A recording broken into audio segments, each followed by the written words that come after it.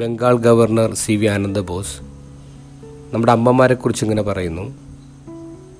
ഇന്ന് ലോകത്തിന്റെ നിറുകയിൽ നമ്മുടെ യുവാക്കളുണ്ട്. അതിന്റെ കാരണം നമ്മുടെ അമ്മമാർ കുട്ടികളെ നന്നായി വളർത്തിയതാണ്. അറിവ് വായിച്ചാൽ കിട്ടും പക്ഷെ തിരിച്ചറിവ് അമ്മയിൽ നിന്ന് കിട്ടുന്നതാണ്. ഇന്നത്തെ ഗോസ്പലിൽ മറിയത്തിന് മംഗളവാർത്ത കിട്ടുമ്പോൾ മറിയ അവിടെ തനിച്ചായിരുന്നു. ഫ്രാങ്കോ സഫ്രീലിയുടെ ജീസസ് ഓഫ് നസ്രത്ത് എന്ന സിനിമയിൽ മറിയ മാലാഖയോട് സംസാരിക്കുമ്പോൾ തൊട്ടപ്പുറത്തെ മുറിയിൽ അമ്മ അന്നയുണ്ട്.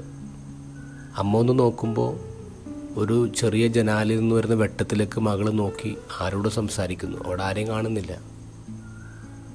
കഴിയുമ്പോൾ അമ്മ ചോദിക്കുന്നുണ്ട് നീ ആരോട് സംസാരിച്ചേ? അപ്പം മറിയം പറയും എലിസബത്തിന് എലിസബത്ത് ഗർഭിണിയാണ്. മൂന്ന് മാസം കഴിയുമ്പോൾ കുഞ്ഞിനെ പ്രസവിക്കും. അപ്പം അമ്മ പറഞ്ഞു എന്ത് നോൺസെൻസാണ് നീ പറയുന്നത് ഇല്ല അമ്മേ എനിക്ക് എലിസബത്തിന്റെ അടുത്ത് പോകണം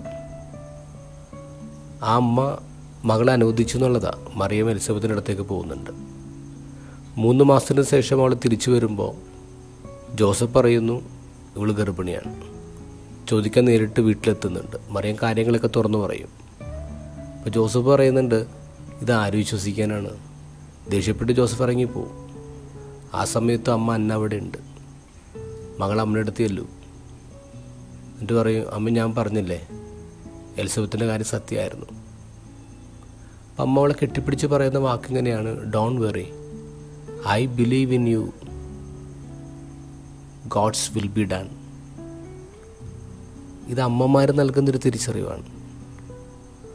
നമ്മുടെ ചെറുപ്പക്കാർ പ്രത്യേകിച്ച് ടീനേജേഴ്സ് ചില സമയത്ത് കൺഫ്യൂസ്ഡായി പോകാറുണ്ട്.